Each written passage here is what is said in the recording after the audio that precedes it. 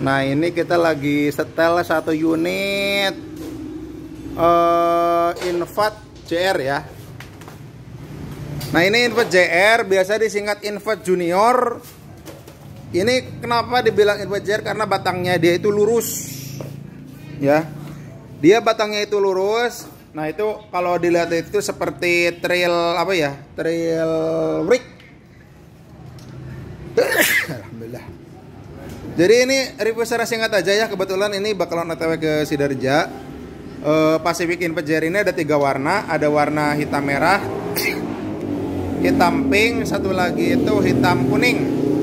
Ban sudah menggunakan kenda. Terus shockbreaker ini gede ya, shockbreakernya gede, ceklekan.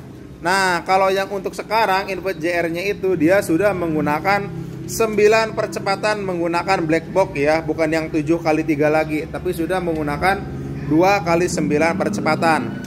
Dan ini kalau terjadi masalah untuk perkabelan dia masih gampang karena dia posisinya itu di dalam. Eh di dalam sorry sorry. Posisinya itu di luar kabelnya. Pergantian juga gampang simple dia bahan besi dari depan menggunakan crank black box belakang juga adanya menggunakan black box e, gearnya itu 9 percepatan. Dan juga ini kalau untuk si apa namanya joknya joknya itu dia posisinya itu sudah di kaput ya bukan lem-leman lagi seperti itu.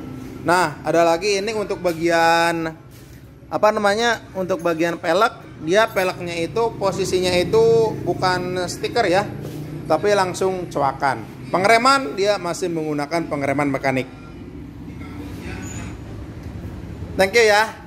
Mas Dirjak ya otw asik langsung. Sekalian ngabuburit ya siki eh sih gimana sekarang kita OTW bakalan masukin ke mobil ya. Langsung kita packing. Invet JR ukuran 26S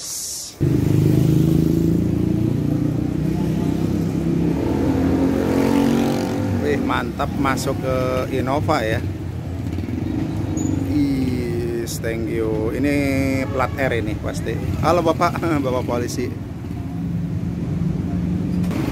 Oke, thank you dari Baskoro. Thank you juga buat tetehnya. Oh ya, udah ya. Thank you ya.